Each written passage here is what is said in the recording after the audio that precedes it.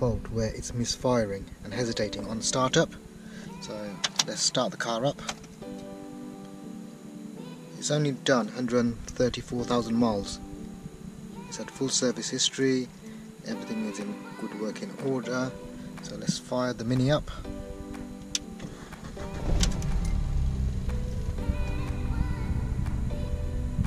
So as you can see the engine, man engine management light is on indicating there is a fault.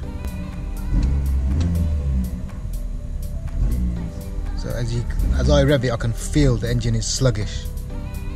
It doesn't want to rev freely. Also during driving this engine management light started to flash indicating a misfire as well. So the next thing to do is plug in the diagnostic and see what the ECU has picked up.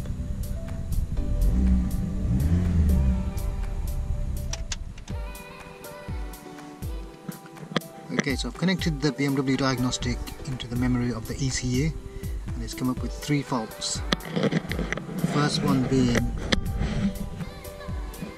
an injector circuit cylinder 4. So we know cylinder 4 is misfiring. So it's saying no signal detected. So more than likely that is a faulty injector with no signal. Okay, then you've got cylinder 4 misfire detected, signal out of range. So again the signs are there of a faulty injector. Okay, so the third fault is misfire detected with low fuel. Again, because the injector is not working, fuel's not coming through, the system has picked it up. The system has picked it up, and then engine management has light has come on, and obviously you're getting the misfire, and the car is hesitating. So we know what the fault is. A faulty injector in cylinder 4. So let's get that replaced, and then we'll come back and then have a look on the diagnostic again once that has been replaced.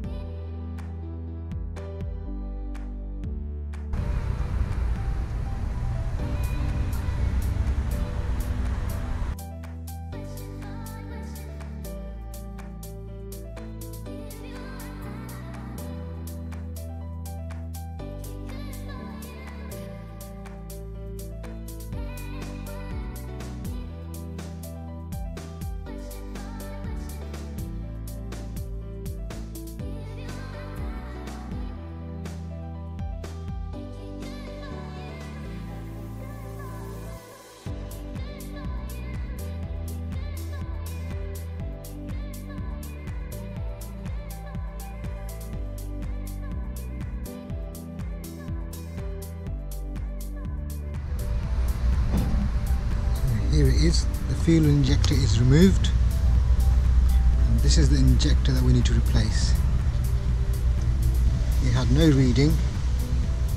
The diagnostic picked up no signal. Low fuel delivery as well. So we'll get this changed. Okay so that's the old one. And this is the new one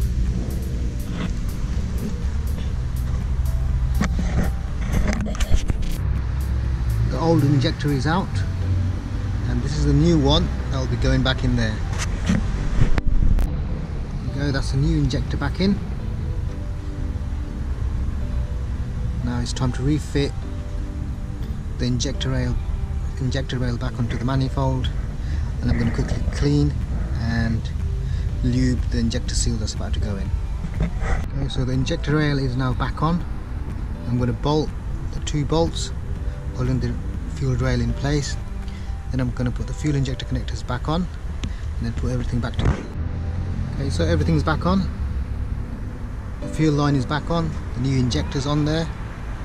All the connection to the injectors have been connected back on. Everything bolted up.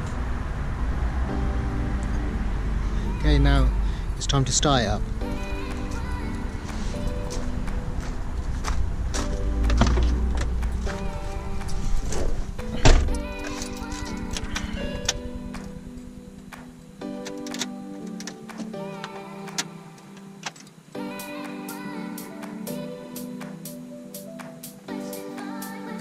up for the first time after fitting the new injector.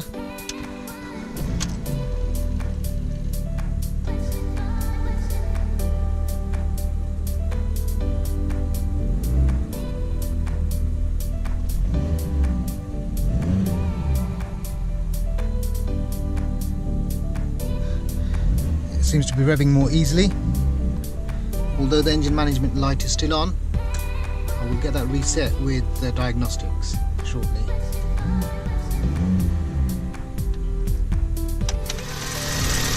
Now I'm just going to check for any leaks around the injectors, especially around here.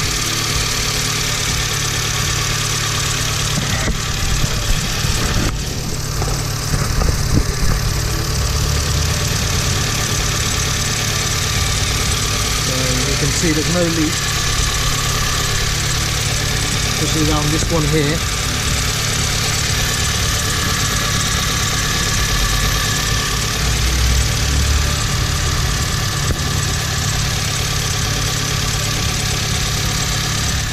So now that we've replaced the injector, we're going to come back and now clear the memory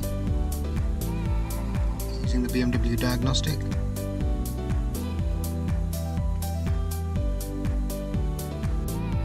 Now we're going to rescan the memory.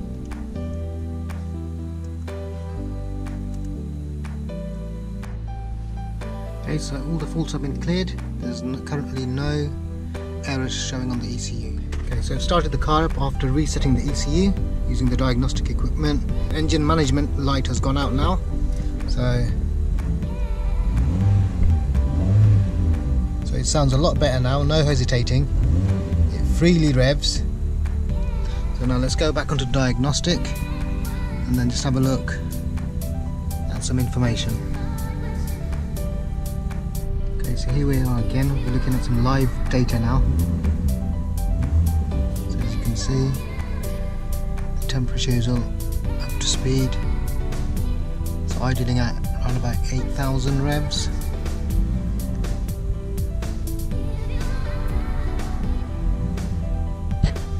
And look another part now.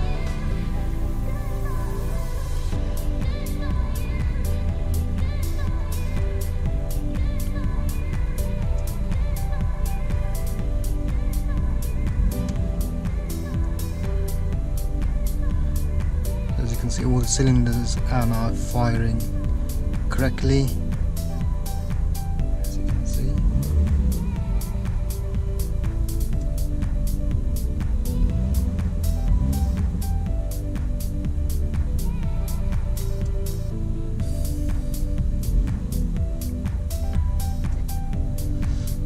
So that's it guys.